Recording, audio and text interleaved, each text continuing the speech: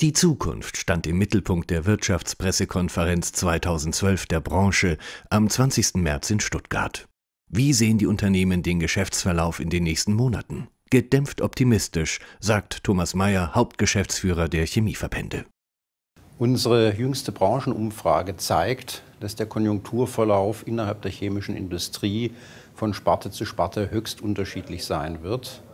Unsere Betriebe haben vor allem große Sorge vor den steigenden Rohstoff- und Energiepreisen. Das trifft ganz besonders den Mittelstand, der bei uns in Baden-Württemberg eine hohe Bedeutung spielt. Und als dritter Faktor wird auch die demografische Entwicklung gesehen. Hier zeichnet sich schon der dadurch entstehende Fachkräftemangel ab. Die Demografie spielt besonders in der laufenden 13. Tarifrunde der Chemie eine große Rolle. Hier wollen die Arbeitgeber eine neue Richtung einschlagen, erläuterte ihr Vorsitzender Markus Scheib. Die Lohnforderung von 6 Prozent wies er zurück. Sie hat mit der Realität äh, wenig zu tun und stimmt in den aktuellen wirtschaftlichen Verhältnissen nicht überein. Wir müssen unsere Branche zukunftsfest machen. Das äh, fordert schon die demografische Entwicklung.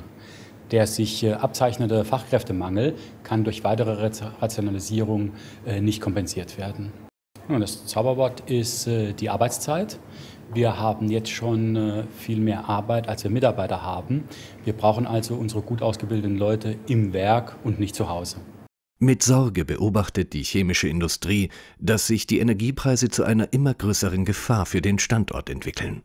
Gerd Backes, Vorsitzender des baden-württembergischen Verbandes der chemischen Industrie, fordert eine strategisch angelegte Industriepolitik. Zentrales Thema für die chemische Industrie ist, dass unsere Energiekosten auch in Zukunft bezahlbar bleiben müssen.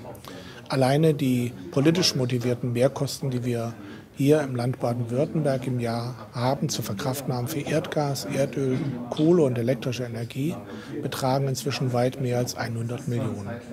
Wir glauben, dass eine Industriepolitik, die diese Zukunft im Auge hat, für beide Partner, für den Staat wie für die Wirtschaft interessant sein werden. Es sind einige Herausforderungen, denen sich die Chemie im Land stellen muss. Ein Umsatzwachstum von 7,5 Prozent wie im vergangenen Jahr wird sie, so die Prognose der Unternehmen, 2012 nicht erreichen.